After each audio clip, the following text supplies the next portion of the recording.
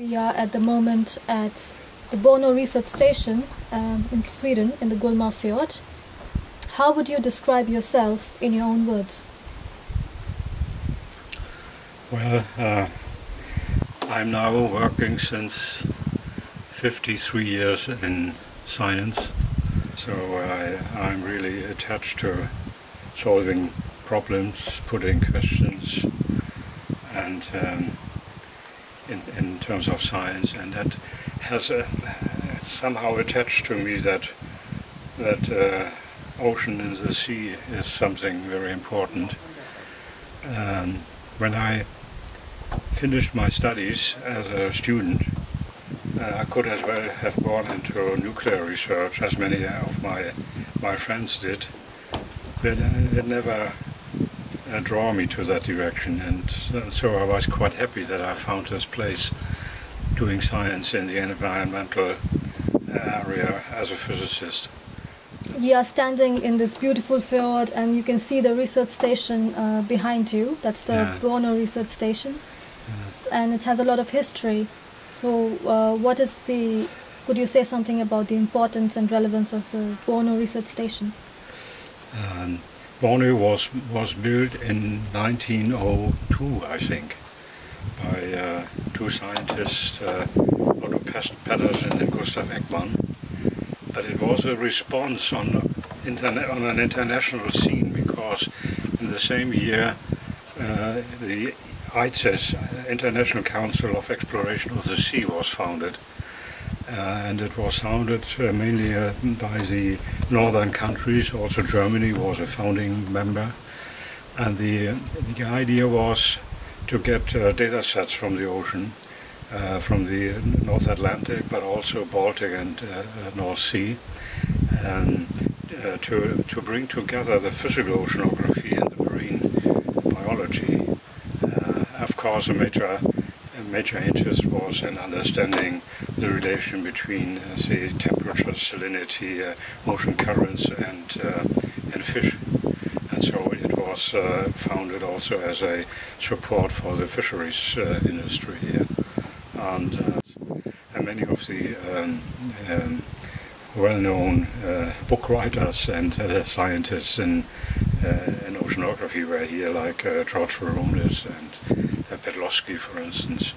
we are all interested in the overturning circulation of the ocean and how it works, and there's a fundamental theorem called uh, nowadays Sandström's uh, theorem, actually, um, was a Swedish oceanographer who did his lab experiments here on Bornö Station, and he proved experimentally as, as well as theoretically that you need mixing in the ocean to get an overturning, uh, a large-scale overturning together. Uh, there's no no overturning if you heat the ocean just on the on the poles and uh, uh cool them on the poles and heat them on the equator at the same uh, sea level. There, nothing would happen nothing substantial would happen. You need for a deep overturning, you need uh, you need mixing, or you need uh, uh, thermohaline processes uh, overturning the water in, in, in, deeper in deeper levels. This is the Sandström theorem. It was discovered here. I think internal gravity waves were discovered back in the 19th century, well before Bornö was uh, was built and then um, actually um, it's um, a reference to the explorer Nansen, who uh, with his ship Fram around 1900 was in the Arctic Ocean, and he uh, uh occurred uh, to the phenomenon of dead water.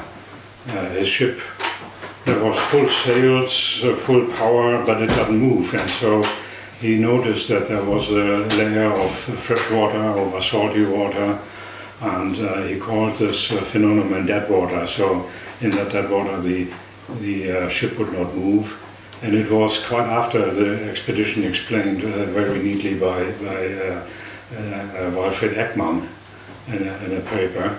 an encounter to internal gravity waves. The ship was generating on the interface um, internal gravity waves. So all the momentum the ship got went into the uh, uh, motion of the internal gravity waves and the ship didn't move. I think this was uh, the first, uh, first really uh, experimental and uh, theoretical notion of internal gravity waves. And I think after the station here in Bornö has built, it was around 1902 or so, um, they uh, observed, of course, uh, tides and probably also internal tides here at the, at the station. So it is said that internal gravity waves were also found or discovered here.